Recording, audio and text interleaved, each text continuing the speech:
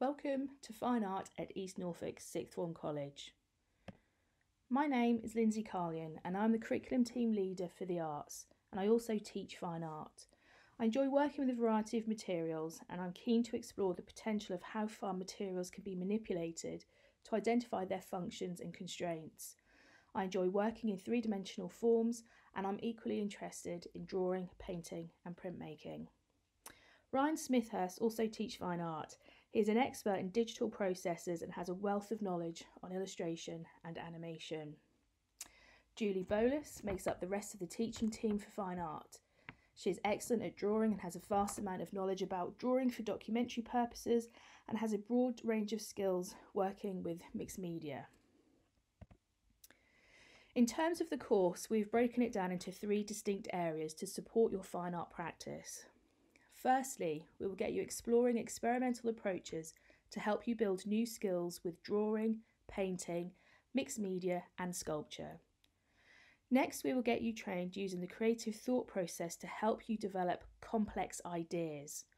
Alongside this, you will learn how to record relevant information from historical, contemporary, and cultural sources. Finally, there is the personal creative inquiry. This is where the majority of the assessment comes from within the year and is made up of four assessment objectives. AO1 involves developing ideas. You'll develop a personal and focused investigation demonstrating critical understanding. AO2 explores the potential of materials through a variety of techniques and processes. AO3 is about recording ideas and observations. Observations will be recorded through drawing, written notes, taking photographs, and you can also use audio and film. You'll also learn to be reflective by understanding how your work can be improved.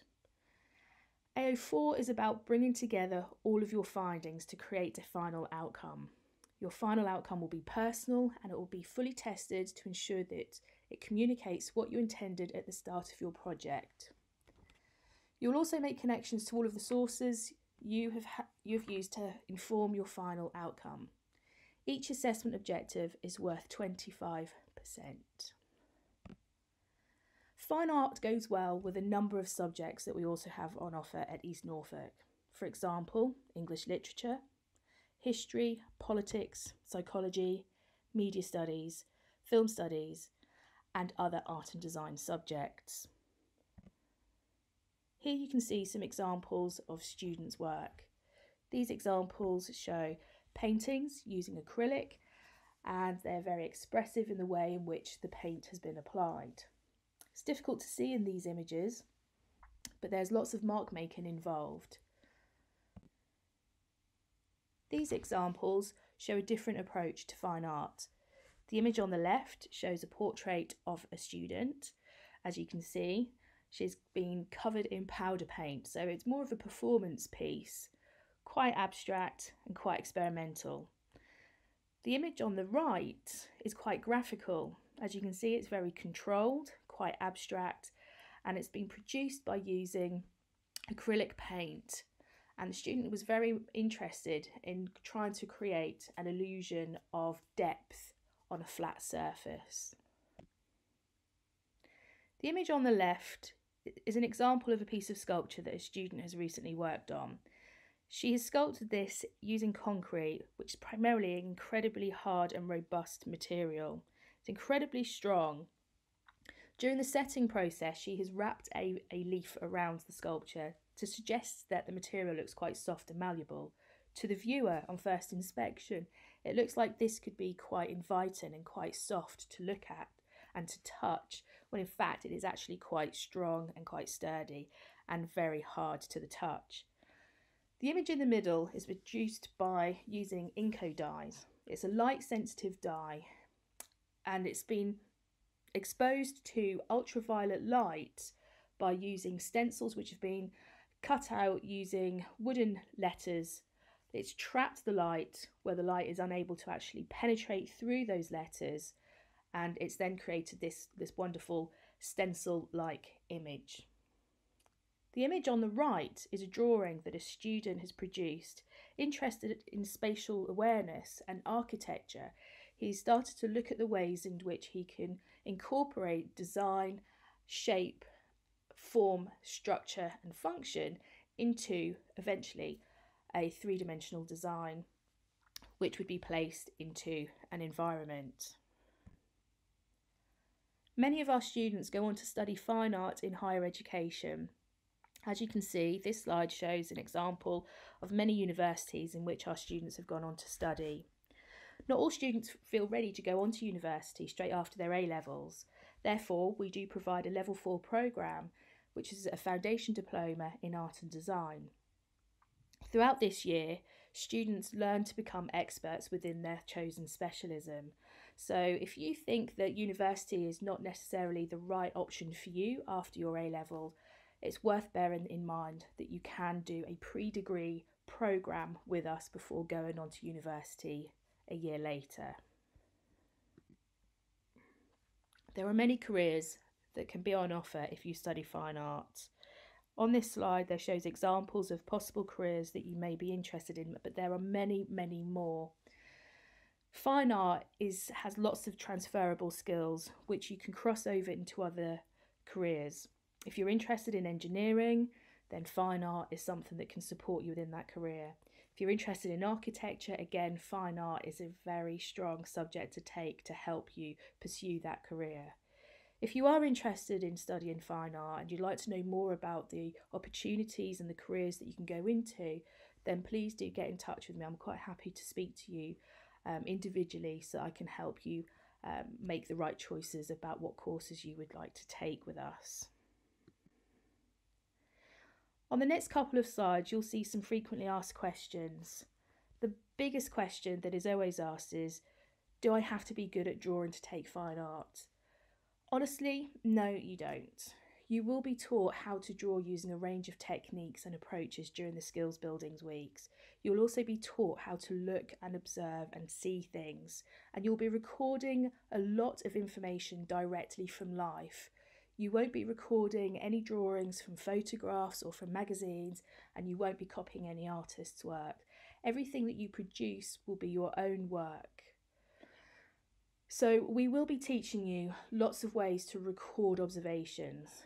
It doesn't matter what skills you come in with to begin with, we will help you build on those and we will introduce you to new ways of working. What materials will I need to buy for this course? We would like you to have some basic materials, but we will be providing you with a wide range of specialist materials whilst at college. It would be good for you to have um, basic materials such as a variety of different graded pencils, a putty rubber, a set of paint brushes, and a fine liner. When you join us in September, you'll be given a list of other basic materials that we would like you to have, but we will also be going through all the materials that we will provide for you. We also have a very well stocked shop at the college where you can buy all your art materials.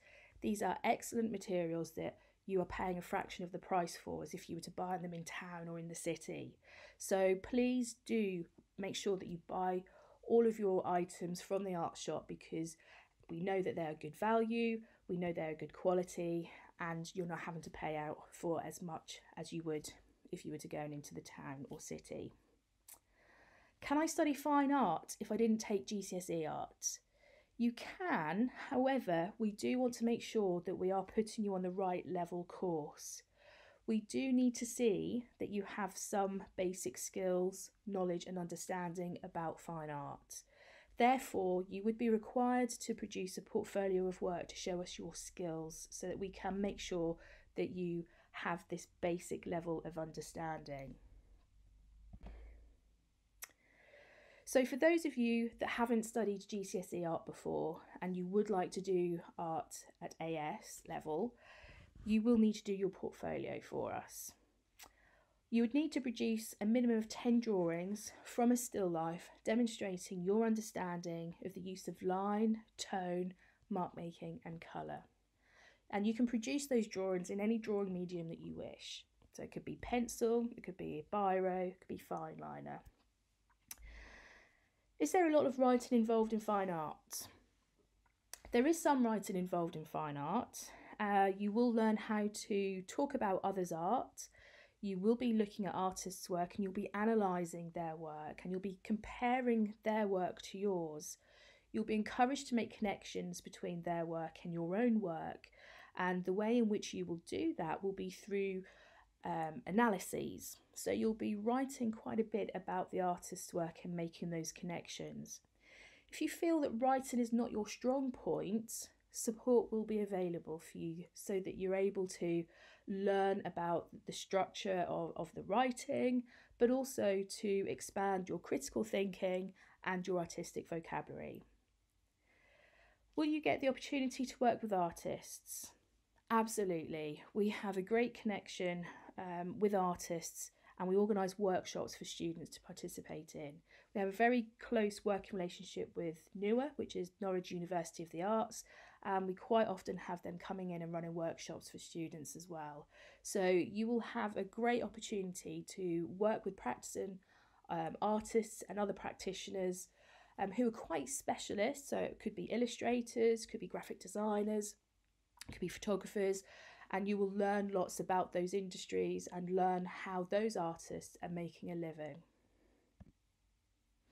On the next couple of slides, you'll find some really useful links just to help introduce you to fine art, so helps you understand what fine art is about. There's a couple of links which will give you information about the art world and lots of other artists, so they're well worth a look. The very first link is very much about mark making. I'd like you to read the information that's contained on that link. And to help me assess where your skills and abilities are with writing, I would like you to write just a maximum of 300 words where you're explaining why you feel mark making is important in art. I'd like you to select an artwork by one of the artists that's mentioned within the um, information so that you can then start making some connections between their work and mark making. There is an activity I'd like you to do in a moment. You'll see a short video of me showing you how important mark making is uh, and how you can create interesting marks.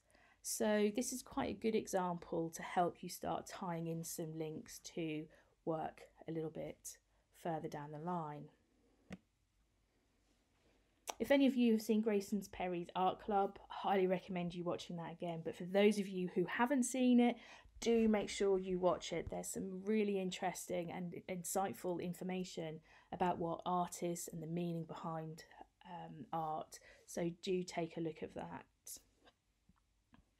Likewise, all the other links are very useful, so please take your time to have a look at those because these will be setting you up for um, putting you in a good position to start the course in September. You can find us on social media. We have a Facebook page, so please go to Facebook and just type in East Norfolk Sixth Form College, and there you'll see all our regular updates about what's happening across college um, and so on. The art department have their own Twitter and Instagram page. So with Twitter, you can find us at, at East Norfolk Arts, and Instagram is at East Norfolk Arts as well. You can contact us by our mailing address, our phone number, or our website. And if you have any particular questions about fine art or the arts in general, then please do not hesitate to get in touch with me. I'm Lindsay Carlian, and my email address is lcarlian at eastnorfolk.ac.uk.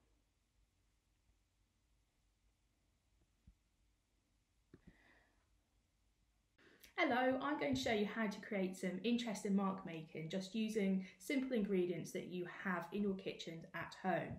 Um, I'm going to be working with coffee and tea and I also have some food colouring which can also create some interesting marks. What I'd like you to do is to go around your kitchen and collect as many different tools um, that you'll be working with. So kitchen utensils.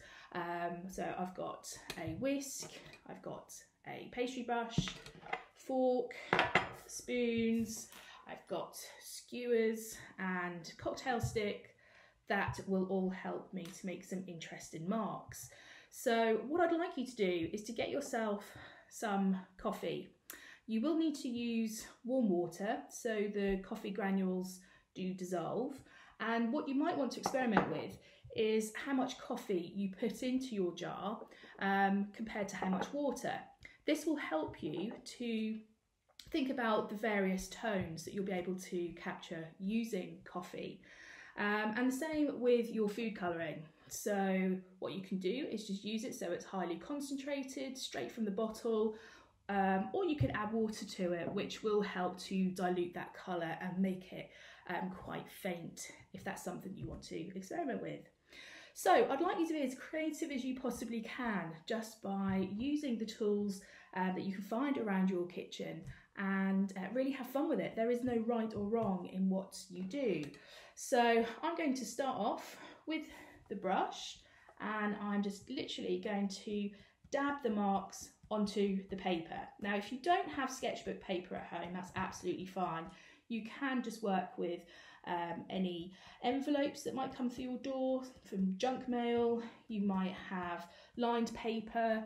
You may have um, any other bits of scrap paper lying around your home. That's absolutely um, fine. So there's my first mark making experiment. As you can see, as I hold the paper up to you, you can see the, the uh, coffee starts to run down the page. You might want to encourage that. So please don't be precious about what it is you're working with. Have fun and see what you can come up with. So just using a fork, dipping it into my coffee, I'm then starting to draw on the paper and see what marks it can create. So I'm going for a cross-hatching type example here, which I'm sure some of you would have experimented with during your art classes. And as you can see, there's the cross hatching. I've got a skewer here, a wooden skewer, and I'm going to dip that into the coffee and I'm just going to dot about the page. And I'm also going to dip this into another coffee that I've mixed up, which is much, much weaker. So you'll see that there's, it'll come out much paler than the, the coffee that I have been using. The great thing about skewers is that you have the blunt end to work with, so you get an interesting mark, or you've got the pointy end, but obviously do be very careful if you're using that. So if you want to use the pointed end, obviously you can start creating very, very fine, interesting marks. So they can be quite delicate and, and quite precise. So if you want a bit more control over the marks that you're creating, the point will allow you to do that. So I'm going to go back to the dots and I'm just going to keep layering them up to see what I can get from all those lovely tones. Okay, so that's what I've got so far. So the, the tip of the skewers, as you can see, very, very faint, but does allow you to work with a very precise um, control. What I've also got here is some cookie cutters. So I've got a plate of coffee, which I am now going to put the cookie cutter into, and I'm going to just pop that onto the paper and create an interesting set of circles. I can layer them up so there's multiples or I might want to think about organising them so they're a bit neater. I do have another cookie cutter which is slightly bigger so again you may want to experiment with the scale of the tools and utensils that you're working with.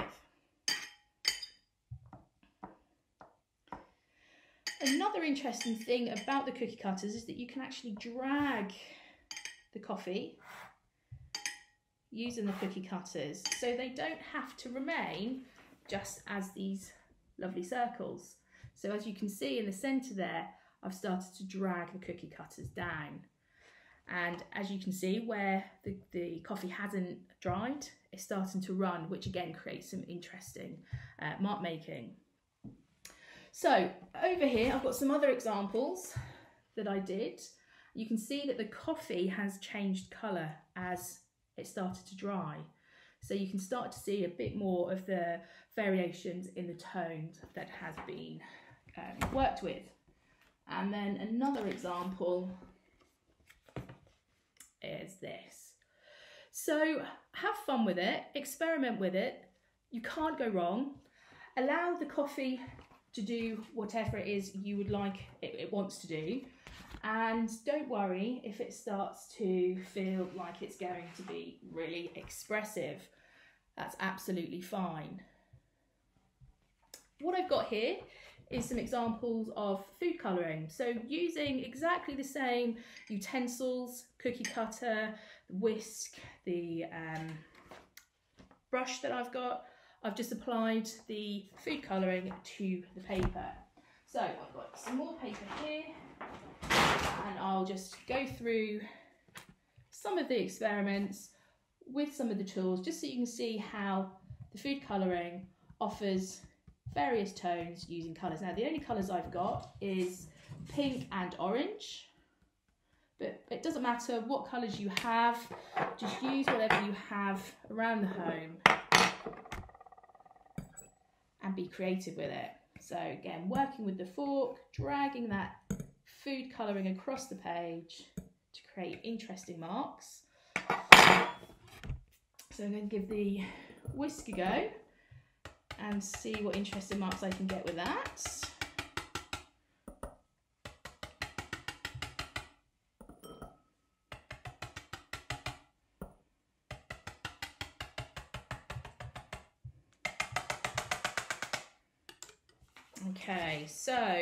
That's the brush, that's working with the fork, and that's working with the whisk. So I'm going to give the skewer a go so I can get some lovely dots happening in there as well.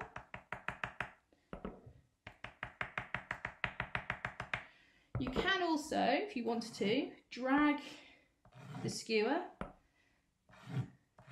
and again you can work over those marks so you can start thinking about layering them as well. So how far can this colour last whilst it's on the skewer before it starts to really fade out? I can use it quite some time before it starts to go very, very pale. The other thing that I have got, which I haven't shown you yet, is working with tea. So some interesting experiments you can do with this is literally just dropping the tea bag onto the paper to create interesting marks. And again, because it's quite wet, it is going to run. But again, that could be quite an interesting part of your mark making. As I've got quite a dark coffee, I'm just going to put some of that into the wet area where the tea is, just to darken those tones up. And then I'm going to hold it up so it can run and bleed however it likes. So here we go. You might want to give it a bit of a shake to encourage some of those stubborn marks that aren't running. And then you might want to change direction.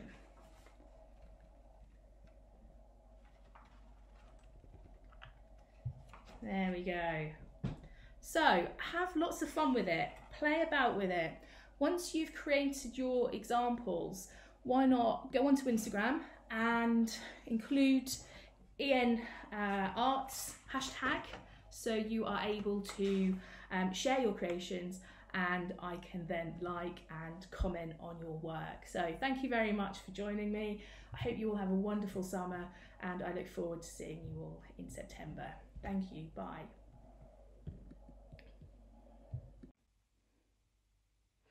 Right, you've seen me have a go at some mark making experiments, now it's your turn. So, the materials you'll need is a variety of kitchen utensils that you can make marks with.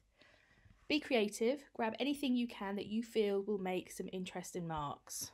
You'll need some cups or mugs or containers of some sort that you can put your coffee, tea or food colouring in. Paper, remember this doesn't have to be sketchbook paper, this can be scrap paper that you've got lying around, it can be junk mail that's come through your door, lined paper, etc. Um, so again, be creative and try and find any bits and pieces around the home that you can use to make marks onto. And you will also need coffee, tea or food colouring. So, the next important thing to do is to get creative and have fun with what you are doing. Using the kitchen utensils, explore as many different possibilities as you can in order to create marks. Using tea, coffee, or food colouring. What I'd like you to experiment with is movement. Think about the different types of movement you can apply when you are creating marks. Some movements can be very quick and rapid. Some movements might be quite slow, considered, and controlled. So we can have a contrast between these very fast, rapid, quick movements and something that is quite uniformed and quite controlled. Be expressive. Allow the coffee, the tea, or the food colouring to run and bleed. Don't worry if some of your experiments start to blend into each other, that's absolutely fine you might end up finding something quite interesting from allowing that to happen. So don't feel that you have to control the mediums all of the time. Allow them to do what they would like to do. Think about layering those marks as well. We're looking at a variety of tones, so remember to experiment with the ratio of how much coffee you place to water so that you can explore those variations in tones. So let's have a look at trying to get some tones that are quite dark and then have a look at tones which are quite light as well. Here are some examples of artists' mark making. As you can see, they're very big, they're very bold, they're very expressive, highly energetic. Lots of movement has been involved within these um, artists' works to create the multitude of marks that you can see. And here are some other examples of different artists' works with slightly different approaches. So these are slightly more controlled. As you can see, Hans Hofmann's painting is much more controlled where there are um, specific shapes that have been organised. So you might want to try a combination of quite loose marks against some very geometric controlled shapes as well. Please remember to share your mark making experiments on Twitter and Instagram and tag us into your posts so we can then like and comment on your work. We're really looking forward to seeing some of the experiments that you come up with and we can't wait to give you some feedback. Thank you very much.